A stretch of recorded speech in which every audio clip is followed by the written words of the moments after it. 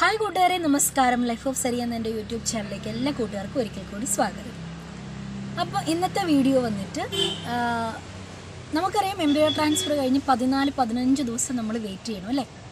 നമ്മുടെ മക്കൾക്ക് വേണ്ടി വെയിറ്റ് ചെയ്യുന്ന ആ പതിനഞ്ച് ദിവസത്തിൽ എന്തൊക്കെയാണ് നമുക്കുണ്ടാകുന്ന മാറ്റങ്ങൾ? എന്തൊക്കെയാണ് സിംറ്റംസ് നമ്മൾ പോസിറ്റീവ് ആണോ എന്ന് അറിയിക്കുന്ന സിംറ്റംസ് എന്തൊക്കെയാണ്? അതിനെക്കുറിച്ചുള്ള ഒരു ചെറിയൊരു ഡിസ്കഷനാണ് ഇന്ന് ഞാൻ നടത്തുന്നത്.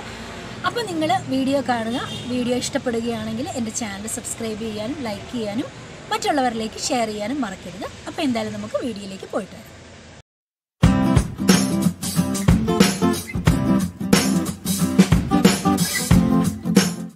ആദ്യം തന്നെ ഞാൻ പറയട്ടെ ഞാൻ എല്ലാ വീഡിയോയിലും പറയുന്നതാണ് സിംറ്റംസിന് പുറകെ നമ്മൾ ഒരിക്കലും പോകാൻ പാടില്ല. കാരണം നമ്മുടെ ബോഡിയിൽ നമുക്കറിയാം എംബ്രിയോ ട്രാൻസ്ഫർ കഴിഞ്ഞ് നമ്മൾ പതിനാല് പതിനഞ്ച് ദിവസം നമ്മൾ വെയിറ്റ് ചെയ്യണം.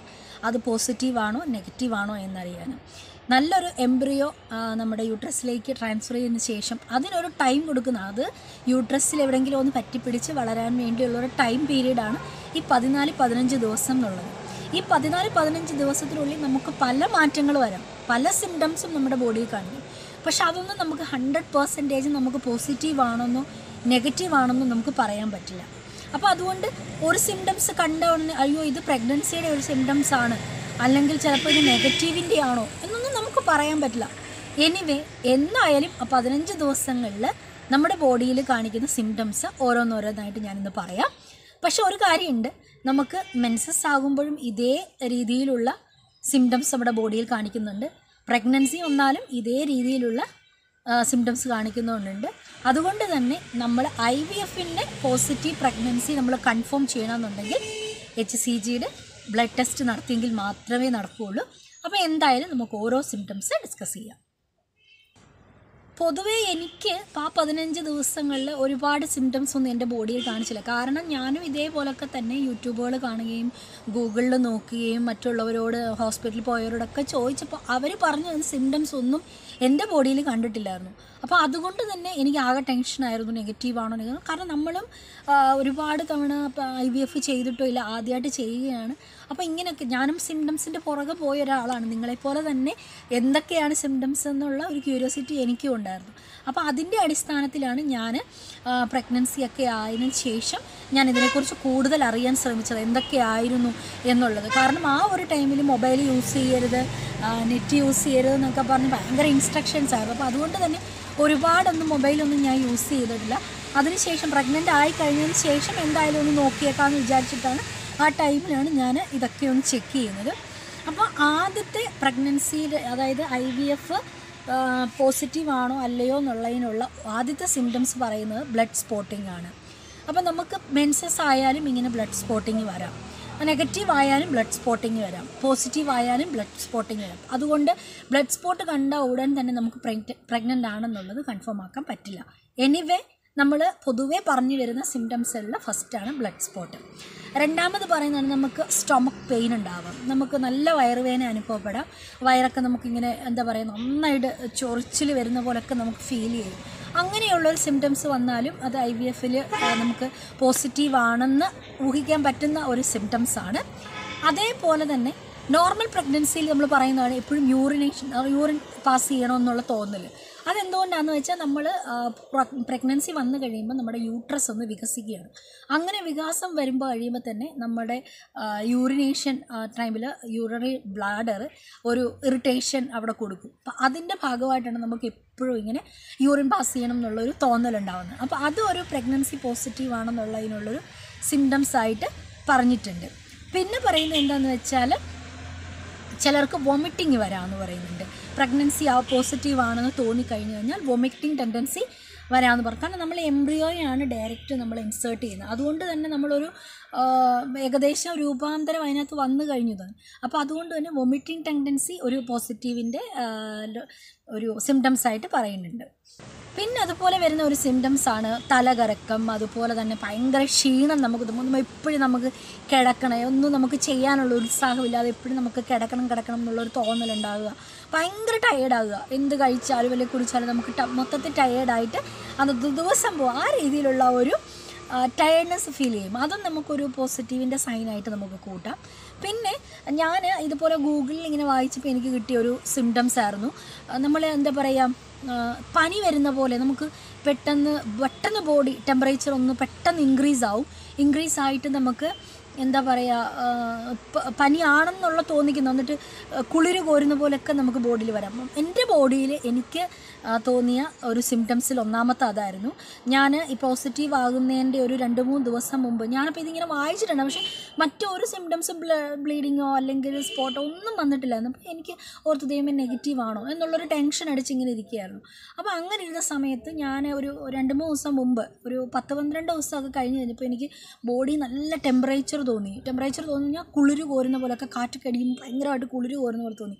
അപ്പം ഞാനിങ്ങനെ ബിനുവിനോട് പറഞ്ഞു ബിനു ഇതുപോലെ എനിക്കിങ്ങനെ ഒരു ടെമ്പറേച്ചർ ഫീൽ ചെയ്യുന്നുണ്ട്. അതൊരു പ്രഗ്നൻസിയുടെ സൈനാണ് ഇനി എന്താണെന്ന് അറിയില്ല. നമുക്ക് പറയാൻ പറ്റില്ല. എനിവേ നമുക്ക് രണ്ട് ഒന്ന് വെയിറ്റ് ചെയ്യാമെന്ന് പറഞ്ഞ് ഞാനിങ്ങനെ സമാധാനപ്പെടുത്തി.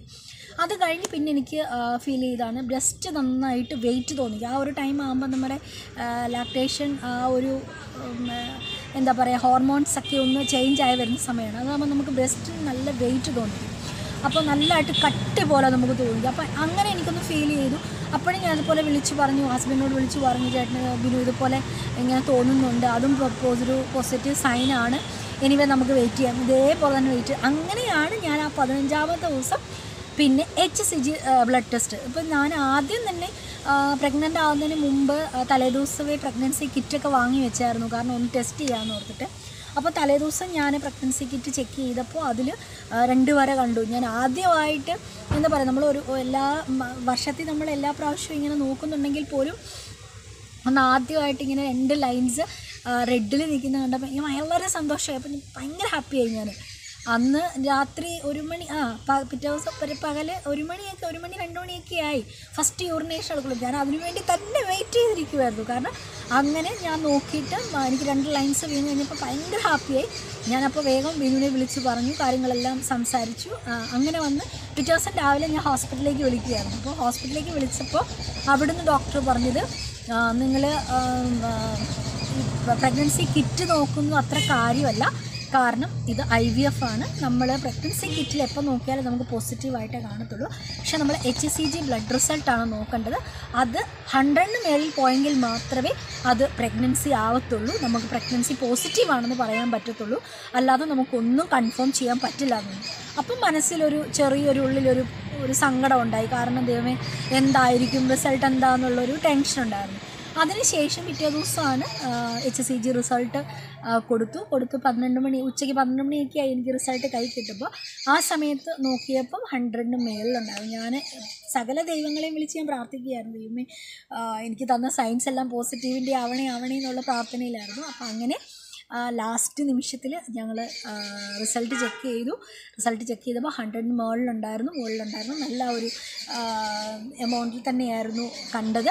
അപ്പോൾ അത്രയും ഫീലിങ്സ് എന്താ പറയുക വന്ന് ആ ഒരു ടൈം എത്തിയപ്പോഴത്തേക്കും സക്കൽ എന്റെ നിയന്ത്രണം വിട്ടുപോയി. അത്രയ്ക്ക് എനിക്ക് ഹാപ്പിയായിരുന്നു പിന്നെ ദൈവത്തിന്റെ ഒരു ഏഹ്, വിധി എഴുത്തുണ്ടല്ലോ അത് നമുക്ക് തടയാൻ പറ്റില്ല. അപ്പോൾ അതുകൊണ്ടാണ് ഇനി എന്തായാലും ഇനിയുള്ള ദിവസങ്ങളൊക്കെ നമുക്ക് വെയിറ്റ് ചെയ്യാം. അപ്പോൾ ഞാനിപ്പം നിങ്ങളോട് പറയുന്നത് N B O N B O transfer കഴിഞ്ഞ എല്ലാവരോടുമായിട്ട് പറയുകയാണ്. നിങ്ങൾ സിംറ്റംസിന്റെ പുറകെ ഒരു കാരണവശാലും പോകരുത് എനിവേ എന്തായാലും ഈ ഞാൻ ഈ പറഞ്ഞ സിംറ്റംസ് ഒക്കെ ജസ്റ്റ് ഒന്ന് മനസ്സിലൊന്ന് കരുതുക. പിന്നെ ടെൻഷൻ വേണ്ട. അയ്യോ എനിക്ക് ഈ സിംറ്റംസ് അയ്യോ സരിത പറഞ്ഞ സിംറ്റംസ് ഇല്ല.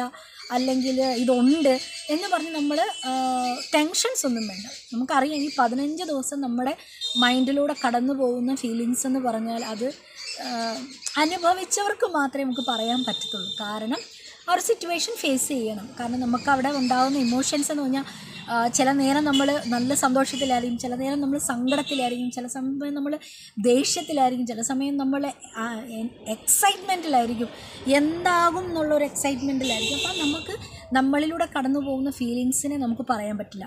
അതേ രീതിയിലാണ്. പക്ഷേ എന്തിരുന്നാൽ പോലും എല്ലാവരോടുമായിട്ട് എനിക്ക് പറയാനുള്ളത് ഈ പറയുന്ന സിംറ്റംസ് എല്ലാം തന്നെ നമുക്ക് പോസിറ്റീവ് ആകണമെന്നുമില്ല നെഗറ്റീവ് ആകണമെന്നുമില്ല. അപ്പോൾ അതുകൊണ്ട് തന്നെ ദൈവത്തിനോട് പ്രാർത്ഥിച്ച് മുന്നോട്ട് പോവുക.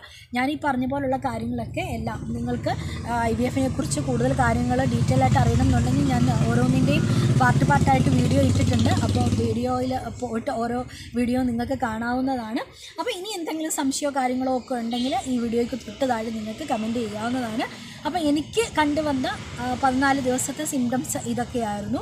പിന്നെ ഞാൻ ഈ പറഞ്ഞ പോലെ തന്നെ ഇതൊരു പരീക്ഷണമെന്ന് പറയുന്ന പോലെ തമ്പുരാൻ നമുക്ക് തരുന്ന ഒരു ഒരു എക്സാം എഴുതി നമ്മൾ വെയിറ്റ് ചെയ്യുന്ന പോലെയുള്ളൊരു കാലാവധിയാണ് ഈ പതിനഞ്ച് ദിവസം. ടെൻഷൻ കൊടുക്കാതിരിക്കുക മാക്സിമം ഹാപ്പി ആയിട്ടിരിക്കുക. അങ്ങനെ നല്ലൊരു റിസൾട്ടിലേക്ക് എത്തിക്കുക.